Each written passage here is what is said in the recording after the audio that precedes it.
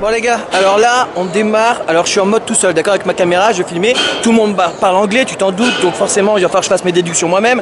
Donc là, on va attaquer par le stand TapTech. Pour ceux qui ne connaissent pas, en fait, c'est des super spécialistes TapTech euh, de ce qui est de la bande de joints, bazooka, tout ça, des machines que je vous ai pas encore présentées, que j'ai en stock dans mon garage parce que je les ai depuis euh, 4-5 ans facile, mais euh, j'ai pas eu l'occasion de vous les présenter. Donc euh, là, on va faire un petit tour, je vous montre quelques machines et j'espère prochainement vous faire des démos. Alors, c'est euh, les leaders mondiaux euh, de, la machine à, la bande comme ça, type bazooka. Ok, d'ailleurs le mot leur appartient. Donc euh, on dit tube à coller les bandes. Je sais pas comment on peut dire dans d'autres marques, mais ils ont d'autres appellations. Donc là, on va attaquer par TapTech. Je te montre, je te fais un petit brief et puis ouvrez vos propres conclusions. Je suis sûr qu'il y a pas mal de pros qui vont en parler. Donc là, je te montre, d'accord?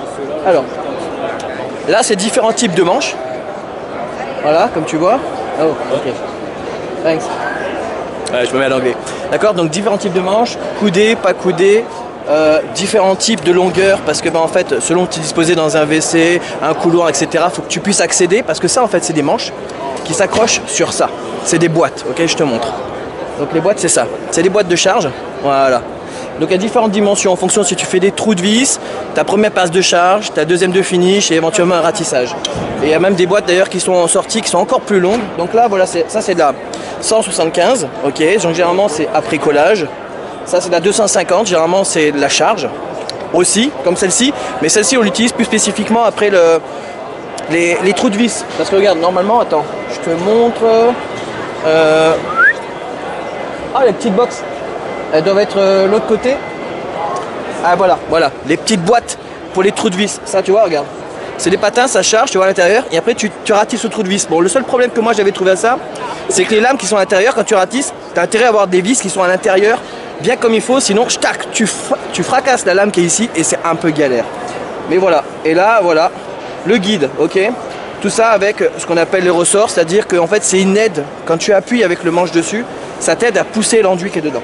Ok? Différents types. Donc ça c'est un sabot première passe, ça sabot de finition et éventuellement comment c'est disposé si tu as des vis qui font un serpentin en, en, cas de double montant tu vois tu peux taper dans une boîte à 175 comme ça pour faire la finish dessus. Euh, qu'est-ce que je peux te raconter encore? Ça c'est la boîte de finition à 300 et j'ai vu qu'il y avait des boîtes qui étaient encore plus grosses pour faire des ratissages qui viennent de sortir. Et surtout c'est que les capacités c'est assez important. Euh, par exemple la Quickbox là. Oh, la Quickbox ça c'est leur petite nouveauté. J'en ai acheté une il n'y a pas longtemps. En fait euh, moi, personnellement, ici, nous en France, euh, les bandes, tu vois, on les fait dans ce sens. Ici, l'américaine, c'est dans l'autre sens. Donc le gars, il a une position et un appui pour envoyer. Parce qu'il met ça avec, avec ce manche-là, où il a deux appuis, tu vois.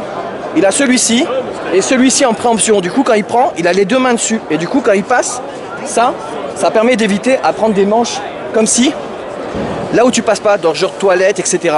Donc ça te facilite la vie. Donc toi, tu es un particulier, ça peut t'intéresser. Voilà. Mais moi, bon, la capacité de la boîte, par contre, elle fait juste une bande de 2m50. Donc je trouvais ça un petit peu trop court pour un professionnel. Pour un particulier ici aux États-Unis, ça peut être intéressant voilà, par rapport au format où il n'a pas l'habitude et il n'est pas obligé d'acheter toute la pompe, la boîte qui vaut un petit peu cher quand même, euh, le manche spécifique. Là, tu as un manche qui est vendu avec la boîte et c'est parti mon kiki. Alors, on passe à la pompe. Ça, la pompe, c'est 6 à charger dans les bazookas. Ok, voilà, ça c'est le bazooka. Tu le mets en pointe, là-bas, en base, posé sur la pompe, qui a un retour, voilà. Ok, là-dessus, posé là-dessus, qui est normalement dans l'autre sens. Et tu pompes et tu charges dans le bazooka. Dans le bazooka, ça se charge. Tu accroches la bande dessus, tu déroules, ça met dessus. C'est le même principe banjo ou canadienne, d'accord? Les super tapers, ok? Donc du coup, il y a la bande qui sort par-dessus, là, et qui s'allonge. Et après, tu fais un petit mouvement de clac-clac, comme si tu rechargeais ton, ton fusil.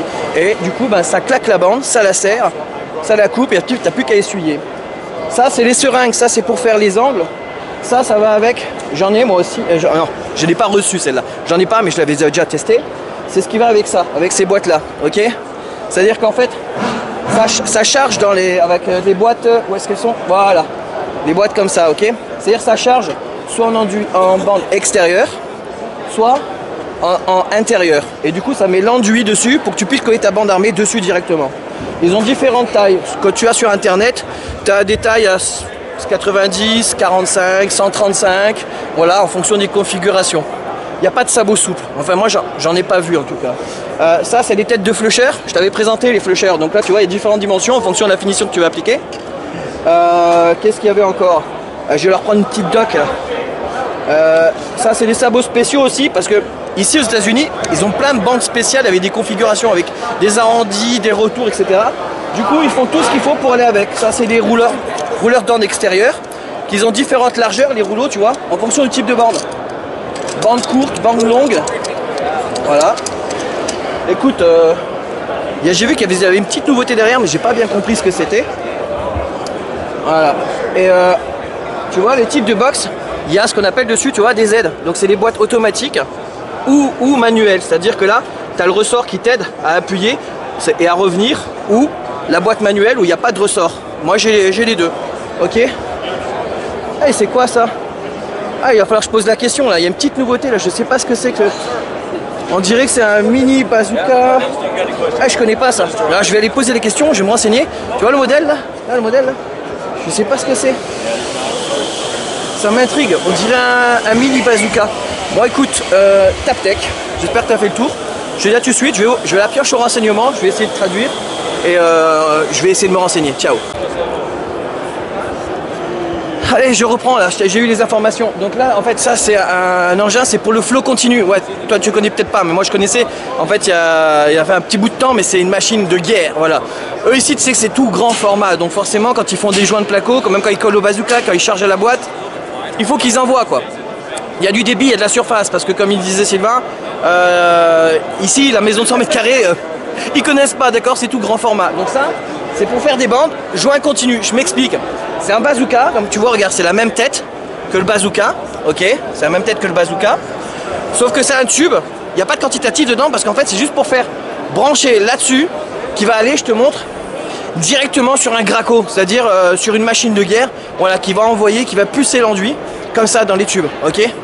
Voilà, la machine de guerre. Du coup, en fait, tu ne recharges jamais avec la pompe dans le bazooka, tu vas direct en flot continu, donc tu charges, tu charges, tu charges, tu colles, tu colles, tu colles. Parce que ici, ils travaillent à deux ou trois, forcément, c'est de la grosse boîte. Donc là, eux, ils envoient et ils balancent avec ça, d'accord? Ça, c'est la machine de guerre. Je crois que j'avais vu des kits à 7 à 10 000 euh, euros euh, sur Internet. Ça fait quelques temps déjà, hein. mais euh, franchement, en France, pour le bonjour l'angoisse, quoi. À part si tu es vraiment une grosse boîte, que tu fais pas mal d'industriel. Mais voilà, c'est ça le truc, c'est fait pour le flot continu. Donc comme tu vois, même principe que le bazooka. Tu mets ta bande sur le côté, là, accrochée, passe par le tube et ça envoie. On a fait un petit peu le tour, parce que là, bon, tu vois, leur nouveauté, là, ils mon- montrent sur leur petit stand. Bon, c'est des lames style euh, Perfect List, tu vois. Ils ont, ils ont tous décliné ça cette année, j'ai vu sur pas mal de petits stands. Mais du coup, en gros, euh, Perfect List, c'est chez nous. Allez, je te dis à tout de suite, on va aller se taper un stand suivant.